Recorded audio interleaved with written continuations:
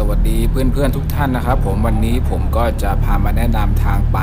ที่จอดรถของท่าอากาศยานสุวรรณภูมินะครับ ที่ท่านเห็นด้านซ้ายมือนะครับ ก็คืออาคารผู้โดยสารขาออกนะครับ ผมแต่เนื่องด้วยสถานการณ์โควิดตอนนี้นะฮะก็ยังไม่มีผู้โดยสารเท่าไหร่นะครับ ผมอาคารผู้โดยสารก็ค่อนข้างที่จะเงียบเหงานะฮะตอนนี้ผมก็ขับรถออกมาจากอาคารผู้โดยสารแล้วนะครับ ที่เห็นด้านขวามือก็คือ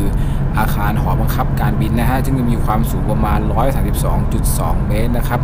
ซึ่งสูงมากเลยทีเดียวนะครับ ตรงนี้เราก็จะเห็นป้ายนะฮะด้านขวาไปลานจอดรถนะครับ ด้านซ้ายก็คือทางออกนะครับสำหรับใครที่จะไปทางออกนะครับ ก็จะมุ่งหน้าเข้ามอเตอร์เวย์หมายเลข 7 นะครับ หรือว่าจะต่อไปยังมอเตอร์เวย์หมายเลข 9 ไปบางปะอินไปบางนาได้นะครับ ให้ชิดซ้ายไปทางออกได้เลยนะครับ แต่ตอนนี้นะฮะ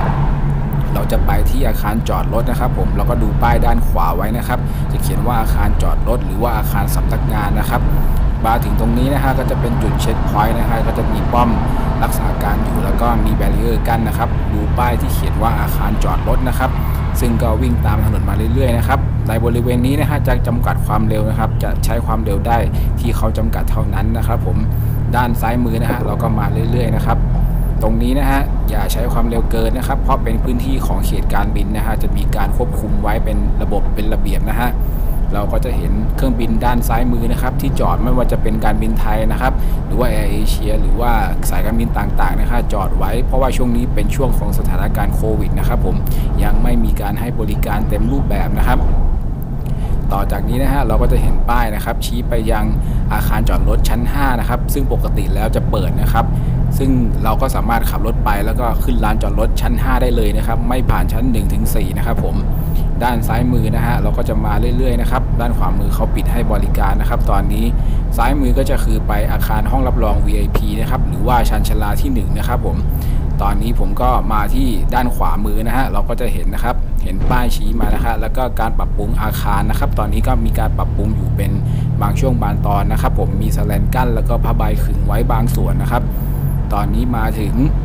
ที่เห็นด้านหน้านี้นะครับ ผมเป็นอาคารจอดรถนะฮะโซน2นะครับ ซึ่งตอนนี้ผมขับรถมาก็ขึ้นลูกระนาดนิดนึงนะฮะแล้วก็จะเห็นว่า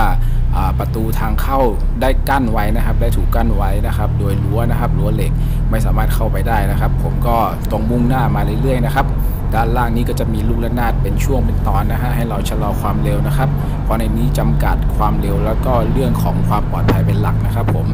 เราก็จะเห็นขวามือนะครับ เป็นสะพานนะครับ เป็นทางยกระดับไปนะครับ อาคารจอดรถนะครับ ตอนนี้มาถึงอาคารจอดรถโซน 3 แล้วนะครับ ชื่อว่า P3 นะครับ ผมก็เลี้ยวซ้ายเข้าไปได้เลยนะครับ ผมตอนนี้อาคารจอดรถก็มีไฟส่องสว่างนะครับ แล้วก็มีพี่ๆรปภคอยให้บริการหน้าทางเข้าอยู่นะครับ ผมแล้วก็ให้คำแนะนำให้คำปรึกษาอะไรต่างๆนะครับ ผมก็ข้างในค่อนข้างจะมืดนิดนึงนะฮะแต่ก็มีไฟส่องสว่างตลอดเวลานะครับ มีความปลอดภัยอย่างดีนะครับ ผม มาถึงจุดตรงนี้นะฮะก็เป็นจุดรับบัตรแล้วนะครับ ผมก็จะมีไม้กั้นอยู่นะครับ แล้วก็มีเจ้าหน้าที่นะครับ ตอนนี้ไม้กั้นเปิดแล้วนะครับ ผมรับบัตรเรียบร้อยนะฮะอัตราค่าจอดรถนะครับ ผมเวลาที่จอดนะฮะถ้า 1 ชั่วโมงก็ 25 บาทนะครับ2ชั่วโมงก็ 50 บาทนะครับ3ชั่วโมงก็ 80 บาทนะครับ4ชั่วโมง 110 บาท 5 ชั่วโมงก็ 145 บาทนะครับ6ชั่วโมง 180 บาท 7ถึง24 ชั่วโมงนะครับก็จะคิด 250 บาทนะครับ แต่ว่าถ้าเกิน 24 ชั่วโมงนะครับ ต้องย้อนกลับไปนับหนึ่งใหม่นะครับผม แล้วก็ต้องต้องดูดีๆนะฮะเพราะว่าถ้าจอดค้างคืนไว้หรือว่าจอดนานเนี่ยรู้สึกว่าค่าจอดจะแพงนะครับ แนะนำให้ไปลานจอดรถระยะยาวนะครับ ซึ่งจะมีอัตราค่าจอดที่ถูกกว่านะครับ ตรงนี้ผมมาถึง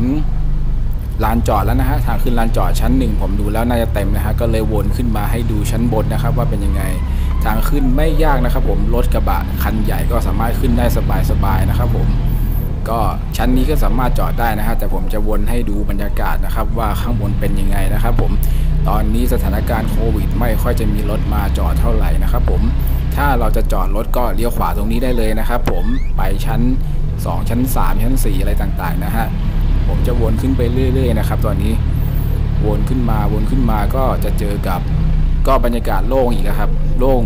ไม่ค่อยมีรถมาจอดนะฮะเราสามารถจอดตรงไหนก็ได้นะฮะก็วนขึ้นมาครับวนขึ้นมาเรื่อยๆ รู้สึกตรงนี้จะเป็นชั้น 5 แล้วนะครับ ชั้นสุดท้ายแล้วนะครับ จะขึ้นไปต่อไม่ได้นะครับ ผมก็วนหาที่จอดได้เลยนะฮะตรงนี้ ข้างในก็มีไฟแสงไฟส่องสว่างอยู่ตลอดเวลานะครับ ผมไม่ต้องกลัวเรื่องความปลอดภัยนะฮะแล้วก็แสงสว่างเข้ามาตลอดเวลานะฮะไม่มืดเท่าไหร่ในโซนฝั่งนี้ก็ รถโล่งเหมือนกันนะครับ ก็จะมีปิดการเป็นบางส่วนนะครับ เนื่องด้วยรถไม่เยอะนะครับ ปริมาณคนใช้บริการไม่เยอะก็เลยปิดไว้บางส่วนนะครับ ผม ตอนนี้ก็จะเห็นนะฮะรถโล่งนะครับ ผมแล้วก็ด้านหน้านะฮะที่เรามองเห็นก็คืออาคารผู้โดยสารนะครับ จะมีลิฟต์คอยให้บริการนะครับสำหรับใครที่จอดรถแล้ว มาส่งญาติมาส่งพี่มาส่งเพื่อนพี่น้องนะครับ ก็สามารถใช้ลิฟต์โดยสารบริการได้เลยนะครับ สามารถ มีจุดเช็คอิน มีจุดคัดกรองนะครับ แล้วก็มีรปภตรวจนะครับ ก่อนที่จะเข้าไปยังอาคารผู้โดยสารนะครับ โดยเครื่องสแกนนะครับ สามารถสแกนได้ทั้งร่างกายเลยนะครับ จากนั้นก็จะได้สติกเกอร์ติดตัวไปนะครับสำหรับคนที่ผ่านการสแกนเรียบร้อยแล้วนะครับโซนนี้นะครับก็จะมีรถจอดหน่อยเพราะว่าใกล้กับอาคารผู้โดยสารนะครับ สามารถจอดตรงไหนก็ได้ครับ แล้วแต่ความสะดวกของเรานะครับ เนื่องด้วยมีมี